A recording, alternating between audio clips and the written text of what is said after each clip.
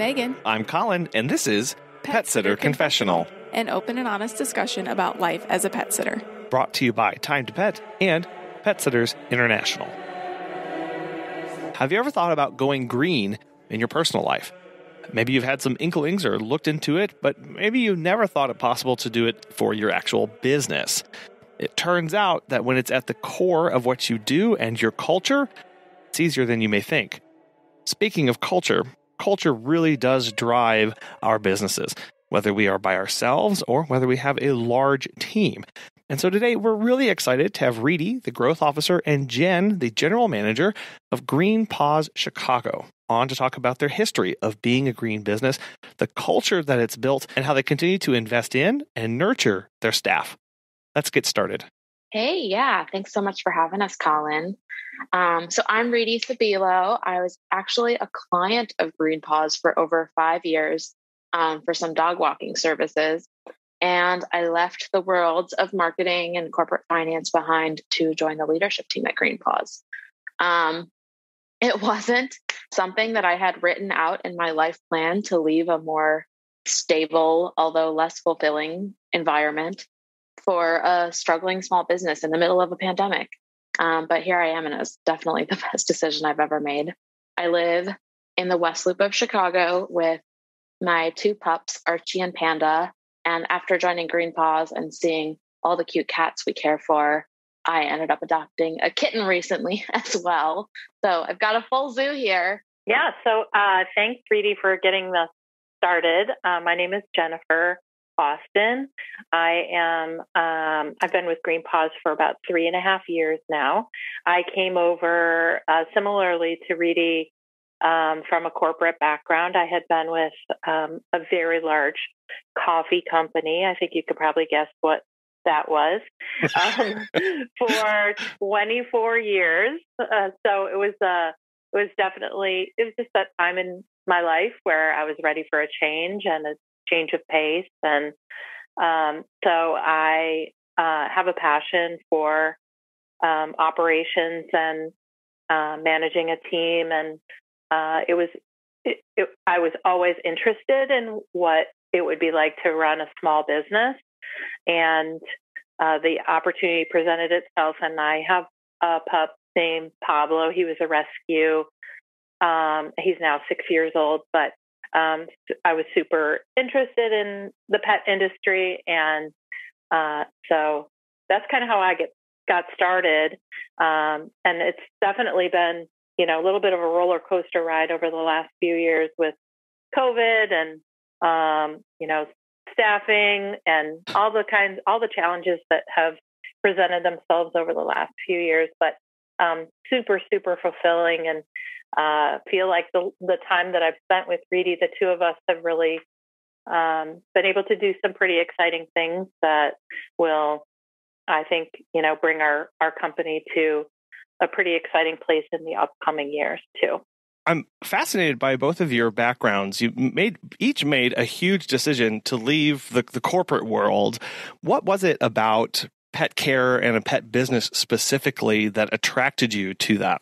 Honestly, it wasn't. I mean, we're both animal people, and we joke a lot of times about how we have always been, you know, like dog moms and crazy in our own way, loving our pups and now cats more than anything.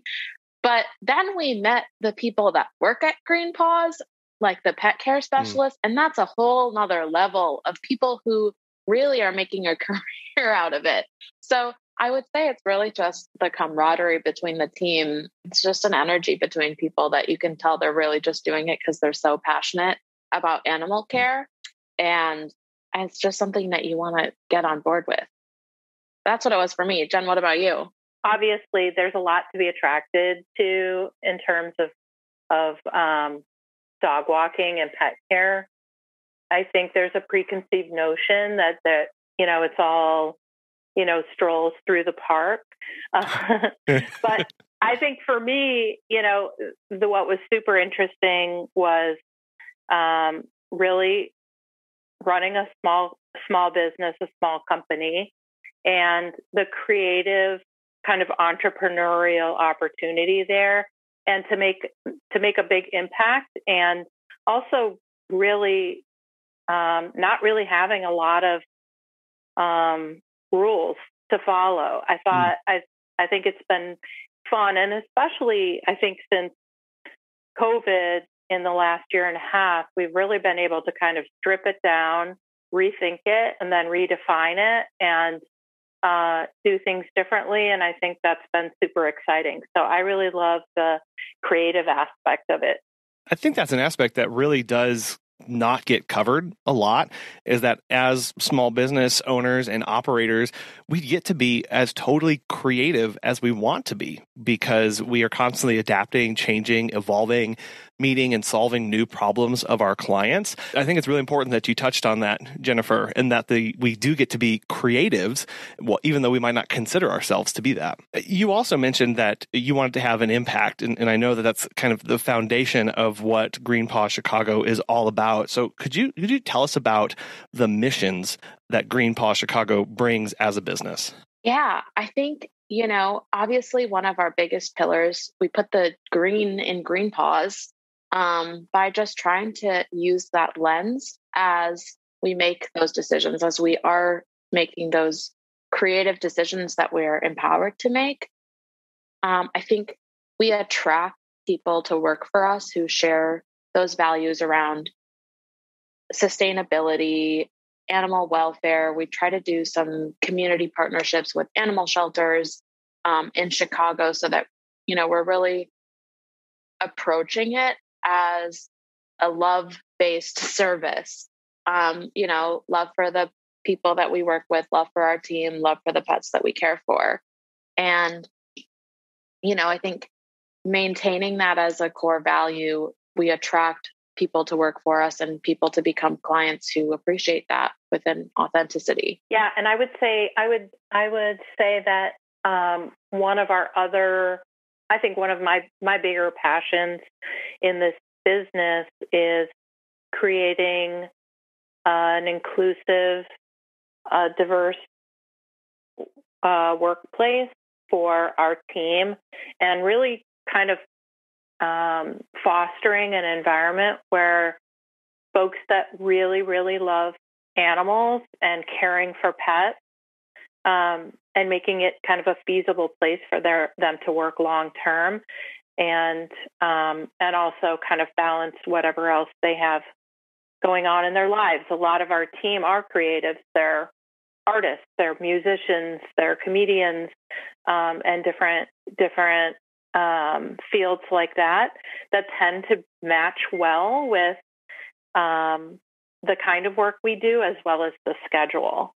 So I think that um, I've spent in my time with Green Paws really spent a lot of time and energy figuring out how to um, attract that type of team member, as well as fostering um, an environment that's going to help them meet their needs, as well as um, uh, fulfill them, you know, in the ways that they're looking for for that.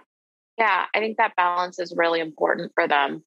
We've got, I would say, we've got individuals like my dog walker, who is one of the main reasons that, you know, I would probably wouldn't have cared as much about Green Paws if he didn't care so much for Archie and Panda. Um, but he's been with the company for eight years, right, Jen?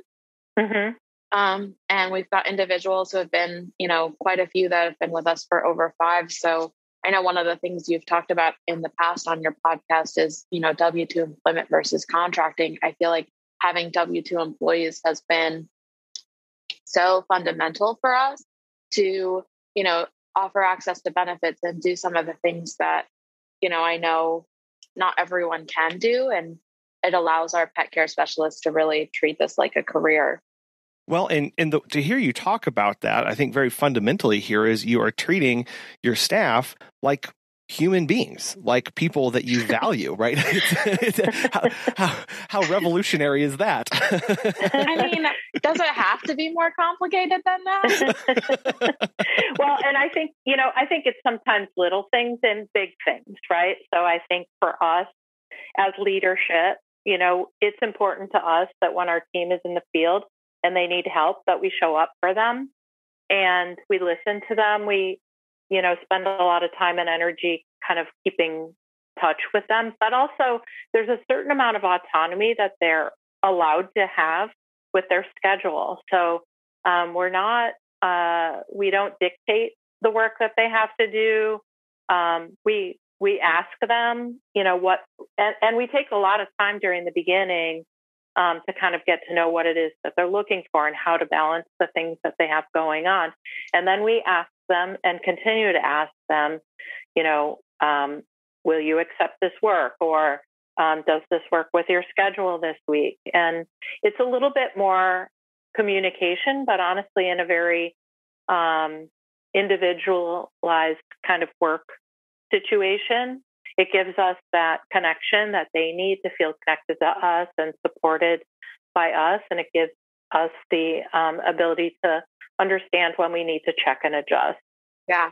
But echoing what Jennifer said, our team really is the best. They they're creative in the best way. They bring those passions to the pets that they work with. And I, I do think that the you know the creative talents that they have outside of green paws is something that we celebrate even at green paws well, and that's that's interesting that you you point that out, and because what you're what is it's noting here is that you know these your your your staff have a life outside of green paws that they have uh, aspirations they have goals they have a mission for their life and what they want to do. And and to see and to hear how you are kind of coming alongside them partnering with them cheering them on in their other endeavors again is really investing them whole in, in them holistically and valuing them again as as a person uh, on their own. Yeah it's been super critical for us especially in the last year, as our, um, you know, I think I'm probably jumping to another topic here,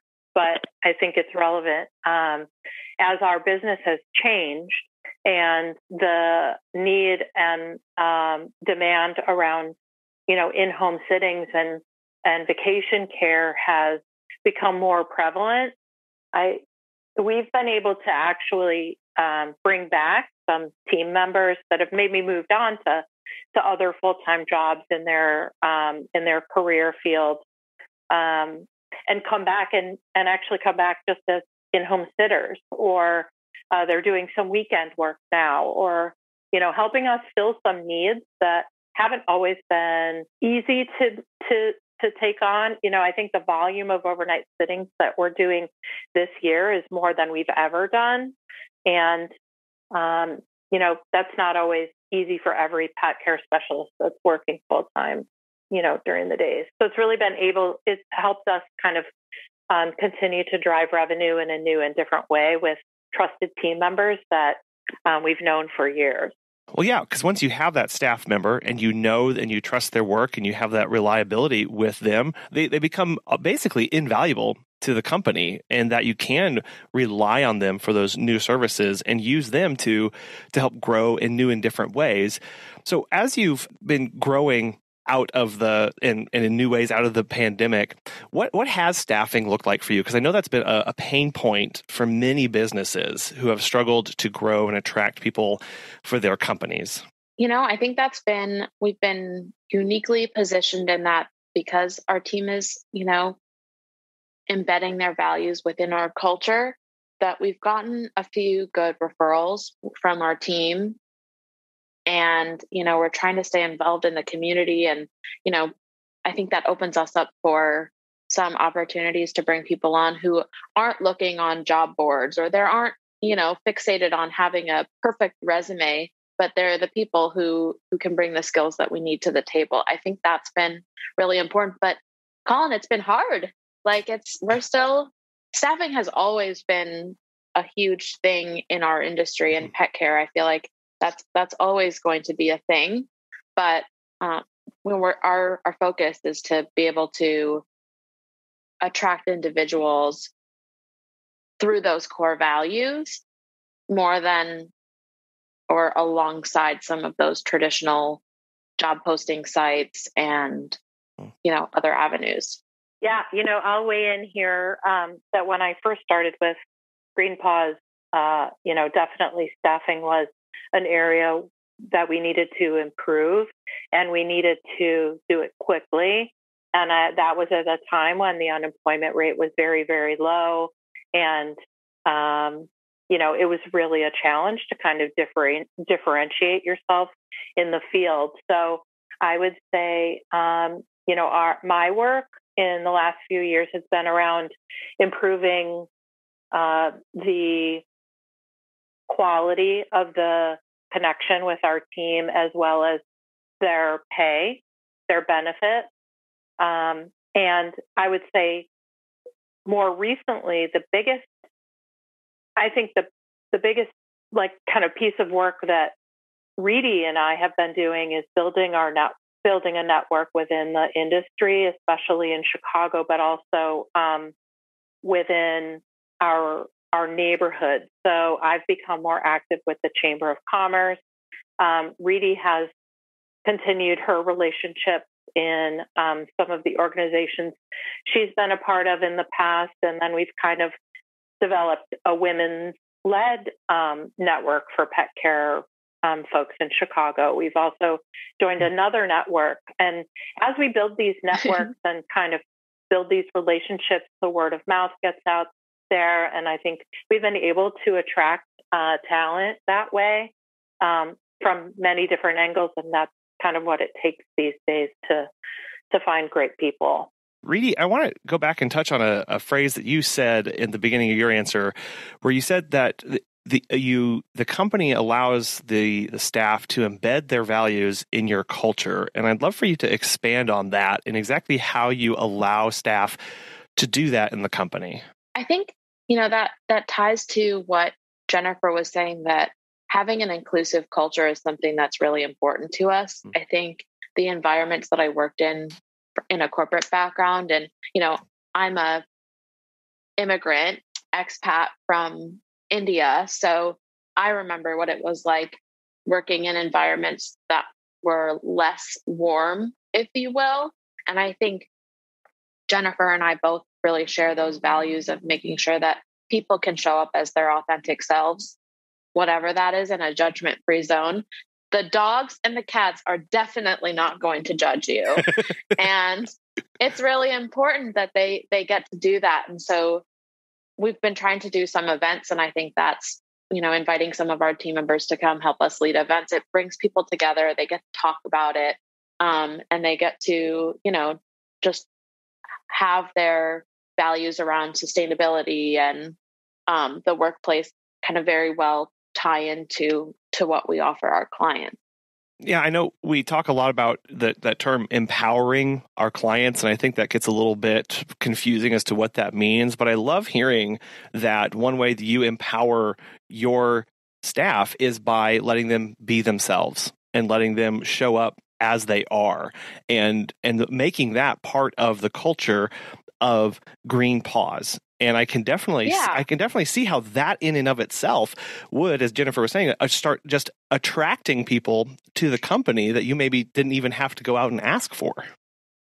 Yeah, I think um, the LGBTQ plus community has been really big, um, well represented on our team, especially in the last couple years. And you know, it's little things like making sure we have everyone's pronouns on our team bios on our websites, and you know, reminding clients to use proper pronouns when they're talking to our team, but also just like celebrating how they show up and, you know, the pictures that they take with the pets and those types of things we, we want to feature and celebrate, you know, on our socials and as our brand as well. Have you heard of Time to Pet? Dan from NYC Pooch has this to say.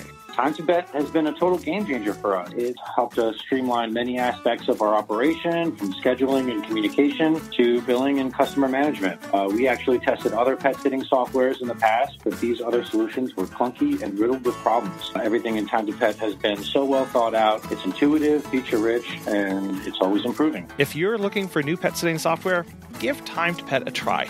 Listeners of our show can save 50% off your first three months by visiting timetopet.com slash confessional. Now, I know part of the, the hiring process and, and the mission of Green Paws is, in and of its name, as you had mentioned earlier, you put the green in Green Paws. So, as a company, what does it mean to be green and eco friendly? I would say it's been a pillar from the beginning. Um, and I would say, like, our Green Paws has been around since 2007. So in those years, we've planted, I want to say, over 3,500 trees through different programs, through the state's programs, through the Chicago Park District. Um, one of the things we do, and it's, we know that pets' lives are limited within our lifespan. And so we like to plant a tree in honor of any of the pets in our care that cross the Rainbow Bridge.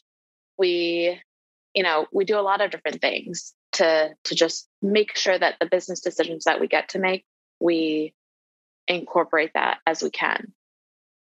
Yeah, and part of our culture, um, and it, I wouldn't say it's it's something that we um, require or emphasize, but um, many many of our team members are um, cyclists, and so they get around their routes and um, and get around the city on bicycles. Um, and uh, you know, for many different reasons, we do have you know a number of folks on our team that are just passionate about about that from an from a, eco-friendly standpoint. Some are also athletes, and um, some just you know prefer that method of transportation as being the most efficient way to get around the city. So um, that is a byproduct, I think, of um, of that pillar as well. And I think we do attract folks that are, you know, city cyclists and and like to uh, kind of get around and and be able to work that way. I think also it's just little things for us um, that make a big difference. The um, the poop bags that we use are biodegradable, and we know we end up spending a little bit more money on those, but those that's meaningful to us. That um, we're not creating uh, unnecessary waste, and um, our office is completely paperless. We don't even have a printer or paper in the office, um, and we've adjusted, kind of continue to check and adjust, um, you know, decisions we make around anything like that, uh, anything that we might need to to use, you know, hard copies for.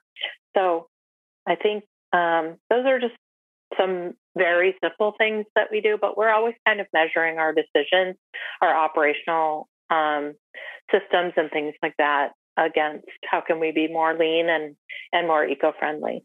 Well, it sounds like that again, you are leaning on the quality staff that you have to celebrate the way they're living out a green and eco-friendly lifestyle in their own lives and and making that part of the culture and seeing if you can integrate different components of that in the business as well. And so whenever you are, you know, marketing the business, do you find that um, when you send out marketing messages or whenever you're posting on that do what's the response of clients whenever they hear that you're not just a dog walking and pet sitting company but you are an eco-friendly and um, earth conscious dog walking and pet sitting company? I think the response is pretty positive.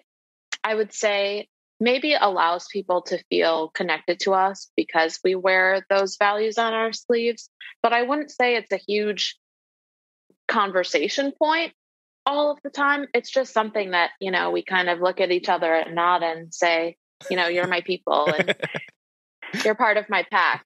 So I think, you know, for the most part, as we market ourselves, we always try to maintain that. And, you know, like Jennifer said, it, it's our primary lens, I would say, um, from from that marketing standpoint. Yeah, I can see how there would be this there's the primary lens of of like business operations, but it doesn't have to be the message that's hammered home every single time you're out there doing things because again right. when it's just part of what the company is and what the company does you don't have to go out and pound that gavel every single time you're talking with somebody or out doing meet and greets or or however you're messaging to your clients Totally. And I will say, when I'm d- creating content for our Instagram, I am like at a hundred different shades of green that I've used at this point.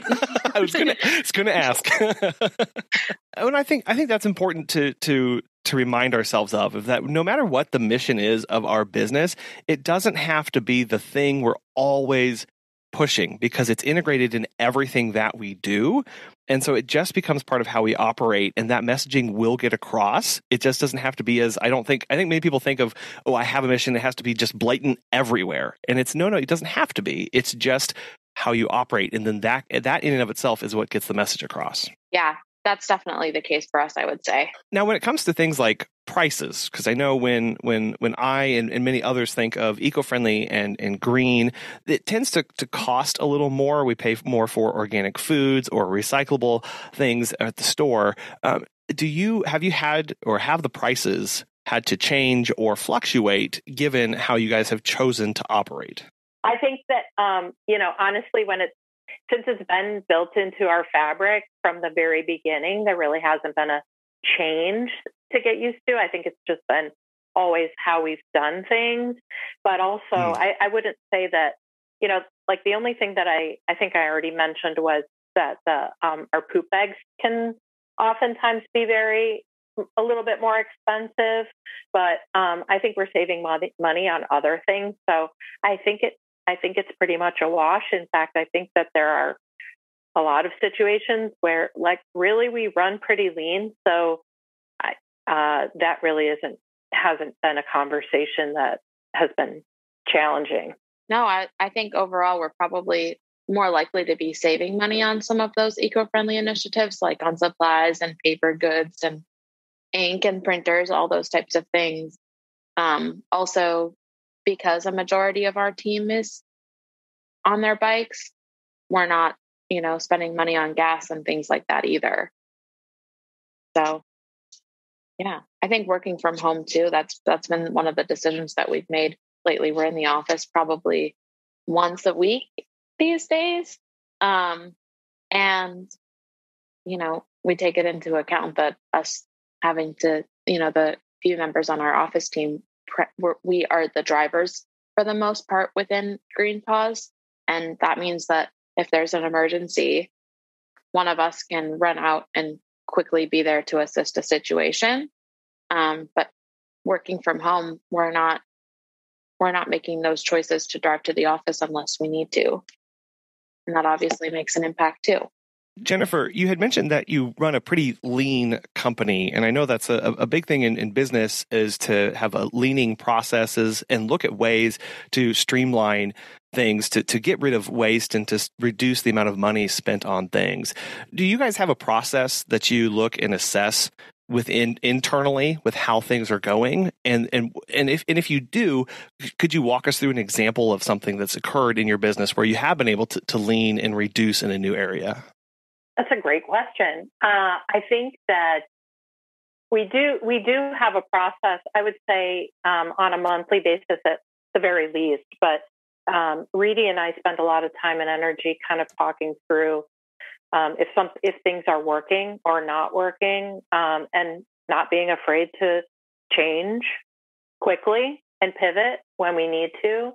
Um, I think that uh, you know it, it can be something as basic as you know checking and ad- adjusting our team's route um, so that uh, you know that they're being efficient and um, it can be we have a so we our service area in, in the city of chicago is fairly large. Um, and so we have a series of um, ups boxes that we keep keys in in different neighborhoods so that um, we're spending less time kind of running around with keys, and our team has um, op- quick and easy options for sharing keys and things like that. Um, so that's something that you know occasionally, like during over the last year and a half, our business has definitely changed. Um, and you know, hey, do we still need this lockbox in this neighborhood? We definitely need a new one in this neighborhood, and kind of moving things around that way. Um, I think that over the last couple years, we've we used to spend a lot of time and money on um, marketing and um, you know our website and um, different areas around tech, and we've definitely uh, kind of pulled back on that. We've done some training and development with our office team so that we can do most of that work in house now. Um, so that's really made a big difference in terms of um, uh, flow through in our business with less revenue than we used to have due to COVID. Does that answer your question? Yeah, it absolutely does. And I, I love that example of pulling more of the marketing and stuff in house and again relying on the on the awesome staff that you have who you've already said are creatives anyway in their outside lives when they're not in, in green paws and, and and again looking at them and going, okay, what other skills can we utilize with these people and and make it more more in house and not just rely on them more, invest in them more, but that also then saves the company money from not having to go to these external agencies or or, or hiring uh, contractors to to do the campaigns. Totally, and you know the fact that they're they have worked with Green Paws for as long as they have, they bring a different passion to it. I think mm. you know the work that they do is so much more connected to the history of the company and the type of care that we provide than we could get with anyone outside of Green Paws. Yeah, and I think I think whenever you recognize that, and I think that again, when people are, are, managing staff or or even looking at if if you have staff or if you don't have staff, finding where that passion is, whether that's inside you, uh, if you're a solopreneur, or which member of the team has that passion, and then not being afraid to to approach them and say, "Hey, this is a new thing that we're doing. Um, is that something you can try?" Um, what's it like then um, partnering with with staff in a new way, and, and how do you work through um, new things that you're giving them that maybe weren't an initial you know, job description from the get go? Well, you know, I think with uh, with certain, you know, we have um, one uh, person that works with us in the office, and you know, they're a great example because it, originally when she was hired, um, she was hired mostly just to, you know, work as a customer service um, associate and was doing a lot of the customer service kind of communication and scheduling. And in my time with her, um, and within the last year in particular, since we've been working remotely and um, the business has changed a lot, you know, we've we really spend time each month kind of sitting down with her and talking about what are the things that you're interested in. Uh, she really is amazing and rises to the occasion whenever we need it. And there are certain areas that she prefers over others, but as she's kind of been able to dig, dig in and try new things, um, she's learning more about herself and what she wants to spend her time doing. So she's, um, you know, taken on, uh, you know, the website and she manages, we have kind of a, um, you know, a map where we have all of our clients laid out and helps make decisions about, um, you know, about routes that are in the field and that kind of thing. But she uh, really has done an amazing job of being in tune with what what you know makes her happy, and we check in each month to make sure that we're able to kind of guide the work in that direction. Yeah, she's she's a rock star. I mean, she has so many technical abilities from you know managing the logistics of the operation. You know like jen was saying mm. a lot of people think about dog walking as you know like just leisurely walks through the park with cute animals but it's so much more than that. It's like jiggling keys and making sure that you're getting from point a to point b in time and you know her ability to navigate that the organizational logistical challenges of this business has you know continued to blow us away and i think that's been really amazing what recommendation would you give to somebody who has some staff members but doesn't quite know the other skills that they have? How do we start getting better in touch with our staff and and letting them flourish with the passions that they have? Just ask. yeah, I mean, I think it's about making time to connect with them, and you know, sometimes yeah. it's just taking the opportunity to meet them in the field and you know spend mm. time with them. Sometimes Riti and I have spent the day, like during the summer, we did one day where we just went out and with a with a, a cooler full of popsicles and met them in the field.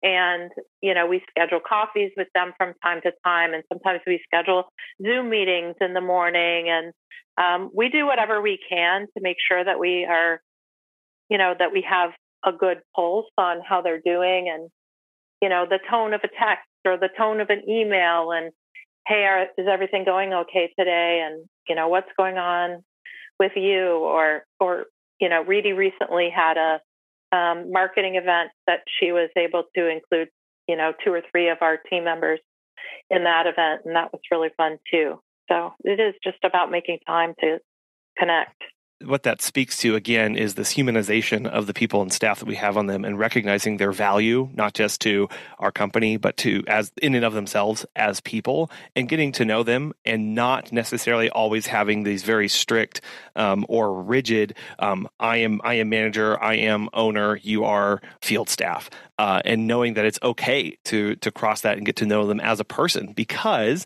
not only does that help them feel valued at the company but then that helps you get to know them so that whenever you do have things come up in the company you know who to hand things off to and and again better invest in them.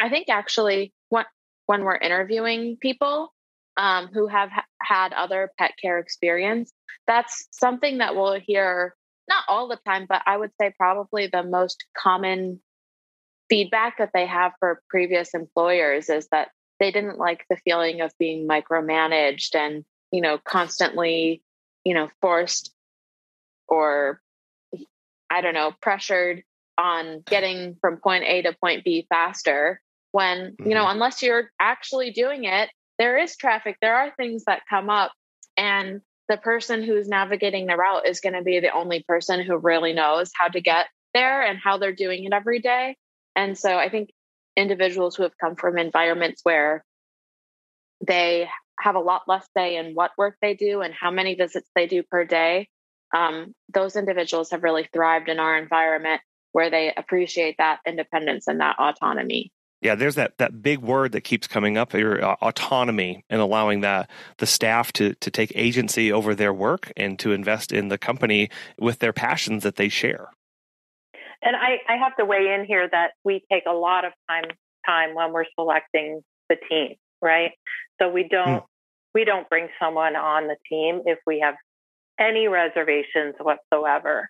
And sometimes that means, you know, covering a route ourselves until we find the right person for it, which um, you know, I think we we do try to maintain a pretty healthy pipeline of people that we're you know, talking to about coming in. But um, I think at the end of the day, our standards are high and our team knows that and they're proud of that. And um, we can, you know, we, we um, manage them to those expectations. So it's not like every day is, you know, perfect, but um, our team understands and um, they they care a lot about what they do. And if they don't, then they're not a good fit for us. How do you handle and manage your way through those days that aren't perfect and when something goes wrong? Well, I think, you know, I think we work well as a tight knit team. I think we all lean in and really try to go into it with a solution oriented attitude. And, mm. you know, I think that includes asking for help when we need it. And that includes delegating, and that includes sometimes just digging in and and getting getting it done. You know, I think it's um, and then reflection afterwards. What needs to change? Like, what do we need to tweak? What was the real problem here? Um, and then, you know, moving forward. Yeah, agree. I think that it really comes down to us keeping our lines of communication open throughout the day and not being afraid to do some of that harder work and you know running out doing a few dog walks. I think uh, a great example of that is illness. We've been hmm. of course extra cautious of any sort of illness the last couple years. And knock on wood we've avoided any infectious exposure of covid to our team the entire pandemic. Um, they've been pretty healthy. But even still if someone's not feeling 100%, we don't want to take the risk. And our team is really good about saying, okay, I'll do, you know, so and so's these few walks and I'll do those cat visits. And Jen and I will run out and we'll do a few each as well so that we try to find that balance where nobody is taking, you know, the brunt of those difficult days and share the load a little bit. You mentioned COVID, and it's come up a few times uh, during this conversation. So I would like to touch on some of the maybe the, the lingering impacts on your business and some of the changes that you've had to undergo. What was 2020 like uh, over at Green Paws? Well, uh, you know, it was one day at a time, like everybody. But um, I would say, you know, in the beginning, um, we we when we shut down for the first month or so, a couple months, um, we we did have a small group of of our team that was servicing some of our clients that are doctors and medical workers, first responders. So, mm-hmm. you know, it was really kind of just taking the temperature of what, hey, you know, what are you guys comfortable doing and what are you not comfortable doing? And um, we did the same thing with our clients as well. We sent out, you know, questionnaires just saying, hey, you know, what, what, in order to feel safe, you know, what, what's important to you? What would you like to see? And I felt like the answers we got both back from our team and from our clients was really the same, which was, um, you know, we just want to have personal space. We want, you know, a place to wash our hands, and we we want we don't want to have to be looking around for the leashes and harnesses, and um, you know, we want to be wearing masks all the time, and all of those kinds of things. So just getting through that initial kind of adjustment period and wrapping our our brains around you know what's actually happening and what are the things that are meaningful in terms of staying safe but it's also been communication about um, how we're feeling or like whether it's a client that's not feeling well or or someone on our team if for some reason that they weren't and being consistent about what that response looks like so if somebody mm-hmm. Texts me in the morning and says jennifer i'm not feeling well um, then you know the first response is yeah, you know, we're going to cover your route today, but also you need to get tested like right away. So that the protocol that we've put in place has been consistent and strict. Um, and, you know, to Riti's point, we really haven't had any issues of transmission whatsoever. And we're super grateful of, of that. Um, but as the business has kind of come back, it's different than it used to be. We used to I mean, our bread and butter was Monday through Friday, midday walk. Um, you know, 90% of our business, it seems like, was that. Mm. And now it's vacation care. It's, you know, we have brought on, you know, dog walking clients that are looking for early morning walks now or evening walks or just two or three days a week or weekends are important to us. So it's we really kind of approached building routes a little bit differently. And um, we're doing a lot more cross training on routes as well, so that, um, you know, we might have two or three different pet care specialists taking care of one client who gets four walks a day or, um, mm. you know, seven days a week.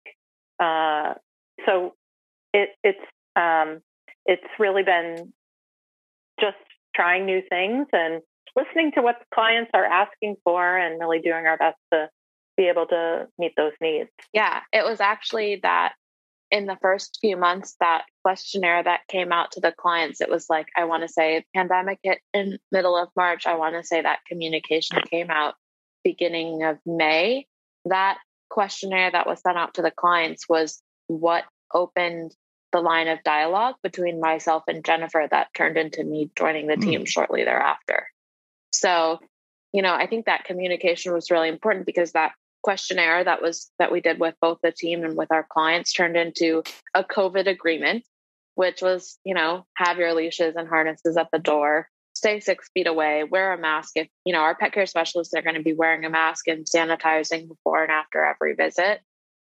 And now that's turned into a health and safety agreement that's not going anywhere for any clients, regardless of the status of the pandemic, because it's nice to have our team safe and healthy. And I think that that's a good thing to offer our clients as well. Yeah. And, and so those kind of changes that come in, you know, whether they are forced upon us or that's how we adapt and respond to them, sounds like you've you've done that in a couple different ways. Uh, other than the the the way the sanitization and that that agreement, what other things have stuck around that you're you're excited that have been put in place? yeah, you know, we I, I, our meet and greet process is completely different than it used to be. Um, we oh. basically are doing virtual meet and greets. Um, in in most situations. And then we do the pet care specialist will, will come by and meet the pup real quick and pick up the keys. So, but most of the information we're gathering from new clients, we're doing all of that virtually now. And we love it. I mean, it's just so much more convenient. I think our clients really like it too.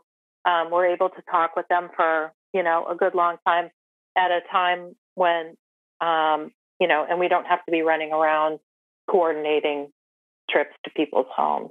Yeah. I would say the other thing is like we use that downtime during the pandemic when, you know, as an office, we were a little quieter to transition our software and upgrade our software. And that was obviously, I mean, a huge undertaking to get multiple systems moved over into one kind of streamlined approach. But that has also helped our meet and greet process because now we have a portal where clients go in and add information about the routines. And, you know, if we have to medicate the pet, then let us know what the dosage is and what all the details are. I think that that's something that we can see as a office team, our field team can see it, and the clients are all we're all kind of in one streamlined communication mm. zone and that, has been really great as well. How, how, long prior to the the slowdown had you been wanting to make that transition to a new software?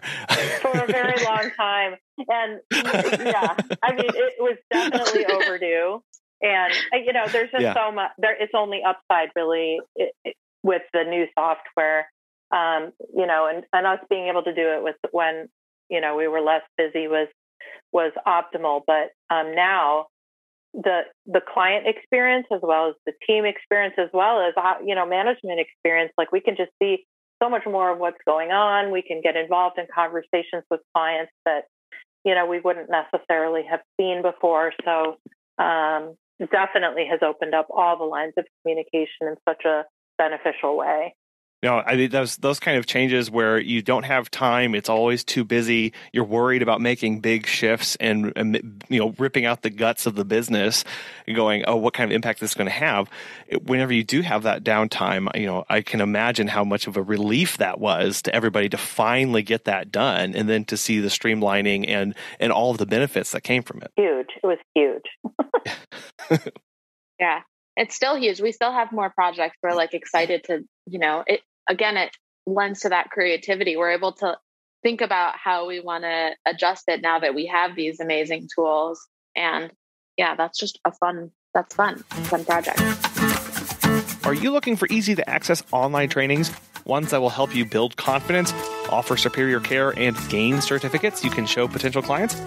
At Pet Sitters International, they offer online courses that allow new and veteran pet sitters alike to save time and money and learn at your own pace wherever you go. As the economy picks back up, more pet sitters and dog walkers will open their businesses, and more pet lovers will consider entering the industry. The pet sitters who separate themselves from the pack will be the ones who can demonstrate superior knowledge and credentials. Whether you're looking for training on how to get your pet sitting business off the ground, or you want comprehensive online pet first aid training, PSI has you covered. When you sign up for a PSI course, you can access it immediately. And once you finish the course, you'll be able to download a certificate of completion that you can proudly display in your office or when meeting new clients. Invest in ongoing education today. Visit petsit.com slash PSC to get started. I, I did want to ask uh, some questions about um, some uh, services that Green Paws offer that I think are, are pretty unique, and I, I wanted to highlight. Uh, you offer a health and hygiene service. What are those, and, how did that come about? The health and hygiene services have been a part of the offerings um, at Green Paws for quite a long time before since before my time with Green Paws, and I think that you know, I think it came from the place of trying to really meet our clients' needs and grow the business. Uh, I would say, you know, the most po- we continue to offer, um, you know, the same services, which include either teeth brushing, furmination, you know, ear cleaning, that uh, flea and tick management, that kind of thing. But I would say by far the most popular one is teeth brushing. And you know, as a pet owner, I know it's like it's not always easy to find time or to remember to brush your pet's teeth. Um, but it's definitely one of one of those things that it's easy to for us to offer Um, and it's easy for us to schedule it in conjunction with a dog walk. And um, our clients really like that convenience and just knowing it's getting taken care of. We definitely try to do a little bit of training whenever we're bringing someone on or whenever a new pet care specialist t- taking on some of those health and hygiene services for the first time. You know, we like to go through our process for it. And I think the clients appreciate that it can be a one stop shop and, you know, they think of Green Paws as a holistic provider for their pets care. Yeah, that was the word that was coming to mind was this holistic approach to not just um, how you guys operate, but also the care for their pets. That these services are things that are you know really do benefit people, but as you know, like the flea and tick stuff, like I know that's something that a ton of people always forget. They don't know what the schedule is. They are, you know, but it's really important to to know that you have somebody who can kind of offboard your brain and that process too, and know Green Paws is taking care of it. That's a huge relief for a pet owner. And I'm sitting here, even though I know that these are services I offer, but I'm thinking, when was the last time I brushed oh. Archie and Panda's teeth? And when was the last time I gave them flea and oh. tick oh. medicine? So to everyone listening, I'm sure maybe yeah, like go do that what, now too. That's what I'm doing right um, now. Actually, I'm scrolling through my calendar, going, "Wait, when did I give Kobe his tea?" Oh no. and you also offer uh, membership plans. And I think this is a growing trend in the industry to have that as an option for people. So, how are your membership plans structured, and what's been the response of those to, to your clients? Oh, well, I can speak to this. This is really I think it's a, it's really one of um, the biggest differentiators for us in you know in the Chicago market um, is the membership plans. I clients really love that um, that you know they're going to be a part of something. You know, we we kind of pitch it to our our um, prospective clients that hey, you're joining the Green Paws family, which is really true. It sounds a little bit markety, but it's it is really true. We believe that. Um, and the membership plans are really, um, you know, that they've been part of our business model for a very long time. We, um, we, there's a lot of benefits to it. Obviously, the having kind of a set schedule and and getting um, and and that generally in the past has also included, you know, you're going to be seeing the same pet care specialist um, the majority of the time, and um, in return for kind of a set schedule. And they also kind of pay on a subscription model, which is you know at the beginning of the month. Um, they receive a 21% discount for uh, kind of setting things up that way and for that regular work. And for us, you know, we we appreciate you know having that um, that business that we can rely on. And our team kind of, that's kind of how we structure our route is having some anchor members and then um, the rest of our folks that or rest of our clients that might not be as regular um, kind of can build out their route uh, on a more week by week basis. But uh, the membership model, I think, you know, obviously the discount is the most significant um, aspect of that arrangement. Um, but for the most part, I think it's just being able to count on uh, a regular schedule re- and being very reliable and and most of the time seeing the same person each each each walk. So that hmm. that has been very critical for our business and you know, I think um, it, it, never really uh, was as apparent to me as it became during the beginning of the pandemic when, you know, we were unable to service most, a lot of our clients um, in that waiting period during shutdown. And many, many, many of our clients um, reached out and said, Hey, we want to continue to support you to get you through this and continue to pay us when we mm. were not servicing them. So um, that kind of support that we heard from our met, and that was our members that really all came forward for us. It was it was um, inspirational. Yeah, I, we've had a few members that continued to pay even up until the last couple of months where they're just now starting to get comfortable to have someone come in and resume their memberships, but they've been paying us for their memberships for oh, wow. a year and a half. And that's amazing. I mean, talk about the support that guided us through the pandemic. Like that really was so heartwarming to see. And we, we try to give back in kind. We had a few members who said, you know, I don't need my services, but please feel free to use the cost of my membership to service people who are you know out of work or you know they still need help with their pets or they can't afford it because of the mm. pandemic so we kind of have this little fund that you know if someone you know lost their job because of the pandemic and they want to go do a job interview or something like that we we want to be able to jump in and and do that and so i mean i think that's yeah. been amazing. Uh, yeah, again, refocusing the, the values of this comp- of the company and recognizing the value of people and going, no, we can be socially responsible with this as well and and help others around us, even though they might not necessarily ask for it, even know it's a thing. It's just something that we as a company find valuable and can do because of things like the membership program. Yeah, and I'd say like it's good too because it kind of sells itself a little bit. Individuals who want one or two walks a week maybe we can get them to three because they realize, oh, well, if I'm going to do a couple walks a week, what's the third for my pet? And then I get a discount on all of them. You know, I think from a marketing standpoint, like that, that becomes a relatively easy sell. It builds to their routine. There's been a lot of pandemic pups.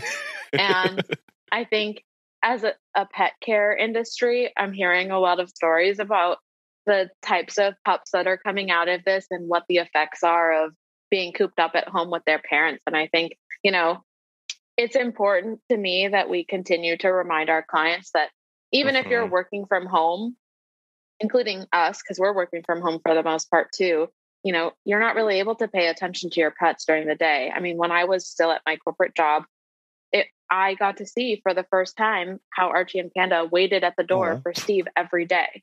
You know, they just like pouted for him and i couldn't justify taking mm-hmm. that away from them and you know I, it, you can see it like the dogs look up at you while you're on your zoom call and they're like zoomies is better than zoom so get me out of here yeah i can definitely see how when it comes to uh, we're, we're in the we're in the service business we're in the service industry we're in the business of of solving people's problems and giving them peace of mind and the number of people who have pandemic puppies who maybe never had a dog before or didn't quite realize, let's just be honest, like the amount of damage that they were doing for a dog for not having it socialized, interacting with people, or having, having it leash trained or go through these normal processes that most puppies do. Being able to have something where you can go, I know, you know, this is a concern of yours or you're having these issues. We have this that can help you along this pathway to to to a better behaving dog and to a better relationship with the dog too. Yeah, I mean, innately as dog walkers, we have such a unique opportunity to say, we're going to come into your house where your pet feels the safest and give them a bunch of treats and love and positively reinforce this entire experience that makes it okay for maybe you to have your friends over and other things that might cause a dog anxiety when they're not used to it. You know, there's so many benefits to that and I know from from a business though, um, I many people tend, uh, business owners, especially small business owners, tend to be pretty price sensitive, and so we have trouble charging what we're worth or charging full price for things when our normal services. And I can imagine a business owner who would look at the the membership thing and go, "Wow, that seems so expensive. I could quote unquote, I could never charge." that much and have somebody pay for that. Um, do you ever have issues with with people and and the price of those, or are they pretty a, an easy sell once they realize what the benefits they're getting? I, I think that um, you know I, I can speak to the the change that we made because I think when I first got to Green Paws, I think we did we were afraid to ask for more, mm. and um, our our discount was I think it was enough to kind of interest folks, and there was still enough demand for Monday through Friday dog walking at that time that it didn't. It it felt like you know a a good um, investment. I feel like now, so we have increased our prices quite a bit over the last year. We did, we had not raised prices in, you know, three or four years prior. So it was well overdue. And when we did it this time, we, you know, it was the middle of the pandemic. We needed to, I think, and we kind of, you know, we, again, we reached out to our members and explained and, and just said, hey, this is where we're at. And we haven't done this in a long time. This is what our team is worth. Um, you know, we had just, Chicago's minimum wage had just gone up to $15 an hour. So we needed to be competitive. Um, and, you know, I think uh, we're, we have always said very honestly, we are not the most inexpensive dog walking service that you'll find, but we are the best. We really try to be the best. and so you yeah. get what you pay for. And I truly believe that. And we don't try to be irresponsible in terms of pricing. You know, our, um, I, but I do feel like we're competitive. And when, you know, if somebody um, is interested in just a couple walks a week, that's fine. It, it can be a little bit pricey for those folks. But if you know they're interested in a membership and and the price ends up being very competitive so i think um, it's about just helping the client break down you know exactly what it looks like and i think to mm. point sometimes adding a third walk a week actually you get you end up getting more for the same price so there's a there's a pretty um, obvious tipping point there that uh, tends to make sense to most folks and um, I think, you know, it's pretty easy to tell in the beginning whether somebody's looking for something super inexpensive or whether they're looking for something that's going to be super reliable and quality. And both things have a place in our industry. And, um, you know, I think we, we are proud of our standards and, and we're not afraid to ask um, for, for the price and we we didn't lose any clients when we raised our prices either.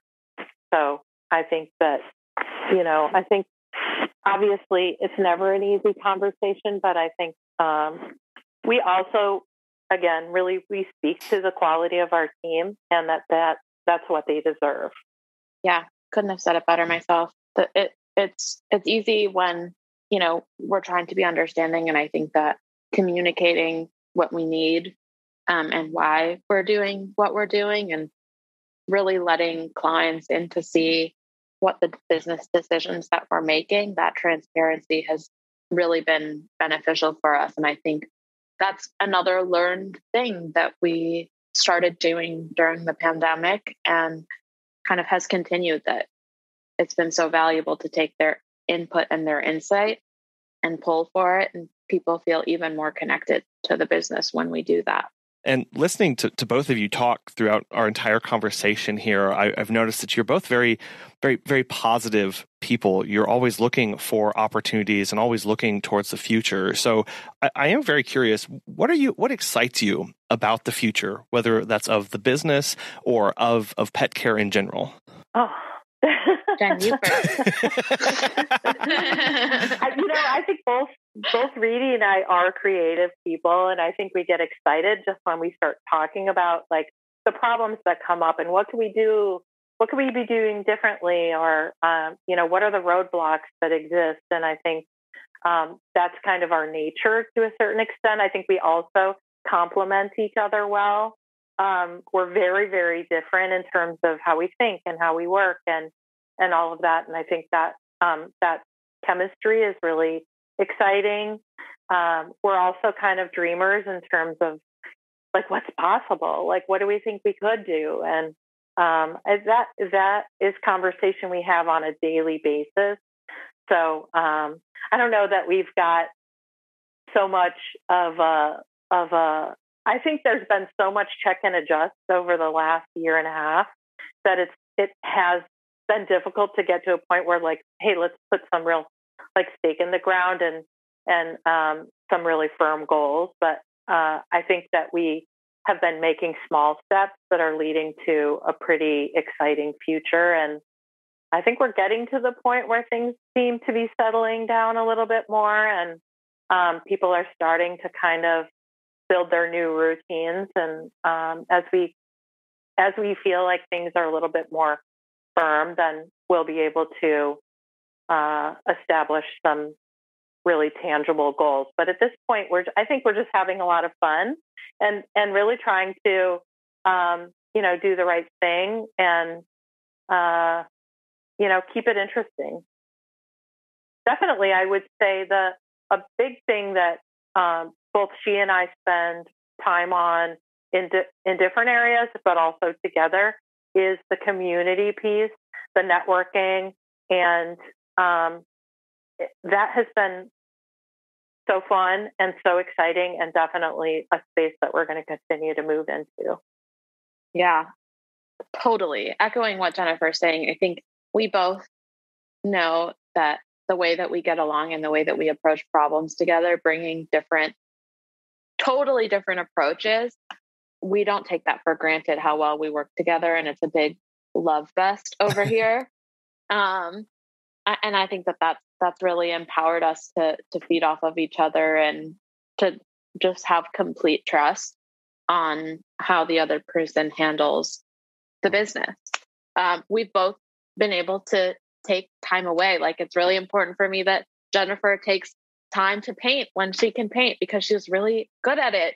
Um, and I know that she, you know, lets me travel and do some of the things that I want to do as well. So that that's been really amazing, and I think that that allows us to kind of fill ourselves up and then pour that energy right back into the business. And yeah, we're dreamers. We're definitely we're thinking about you know what a stable post COVID world looks like, how we can continue to market ourselves. You know, some of the ideas that we've thrown around is our events have been more, I don't know, it's been so much fun to plan them. And we did a dog Halloween recently, and the just getting dogs dressed up in costumes and getting to participate in that is it's so fun to be able to do things like that. So we want to do more of that we thought about offering our clients the opportunity to let us plan their birthday parties for their dogs. Um, we want to do more park cleanups with our team so that we have ways to get our team together and you know give back to the community. Um, yeah, we just we just want to stay stay involved and make sure that we continue to be an open place for individuals to to see us as who we are. Yeah, and I have joined the um, board of directors with our chamber, and we both have joined our marketing and events group with our chamber and are growing the pet um, the pet focus in terms of uh, are the events and activities that the Chamber of Commerce is doing in our neighborhood. So that's been exciting too. Yeah, sounds like uh, assisting the global takeover of the pet industry, and that's uh, amazing. So, yeah, anybody yes. is welcome. no, I, There's enough dogs and cats to go around. that, yes, absolutely. Yeah, more than enough on, on some weekends. Uh, so I, I really love love that so much, and, and I want to thank both both both you, Riti, and Jennifer, for coming on the show today and for encouraging us to invest in our staff and help them to be their authentic selves, to help us to dream about the possibilities of how we want our businesses to look, and then encouraging us to get involved and and helping where we can. I know that there's a lot more out there, and you and you both have so much more experience and knowledge uh, for people to tap into. So, how can people best get connected and start picking your brains? You can reach out to us directly through our website. There's a contact us form um, for pet parents, but you can also reach me at rsobilo at greenpawschicago.com and Janet J. Austin at greenpawschicago.com. Or through our Instagram or Facebook. Oh, oh yeah. DM us. That's an easy way to do it. That's the best way. Do, do, do that. that. The social media thing. That's a thing, right? Yeah. That's perfect. And I'll have I'll have links to those in uh, the show notes so people can get connected with you. Again, I have really enjoyed this conversation and I'm I'm so appreciative of both of you for coming on the show today. Thank you so much. Yeah, thank you so much for yes. It was a lot of fun. Thank you so much for having us. what are the pillars that your business is founded on? We talked about with Riti and Jen that Green Paws, one of the pillars, was founded on them being a green company. That's just what they do. And now they have a lens through which they make all of their decisions based on for their company being green. And that in turn is what drives the culture of their business. We talked a lot about the people that they're staffed on there. Is that how they just happen to be vegan or they happen to ride their bikes or they happen to have all these other interests? And same too with their clients. It really doesn't seem to be a big selling point. People are just attracted to them for the kind of business that they have. And that's what we get to do with our businesses. When we have strong pillars that ground our business to our core beliefs, our core values, and when we make decisions based off of those values, those core principles, that's where our culture comes from. That's when we start attracting the clients. That's when we start attracting the staff and building the brand that we actually want to have. It really does allow our business to have a much larger impact than we ever thought possible. We want to thank today's sponsors, Time to Pet and Pet Sitters International. And we really want to thank you for taking the time out of your very busy day to listen to us. We know this is a hectic time of year for many pet sitters. So we hope you're able to take some time for yourself, relax, and recover at the end of the day or in the middle of it, whenever you have that time. And we'll be back again soon.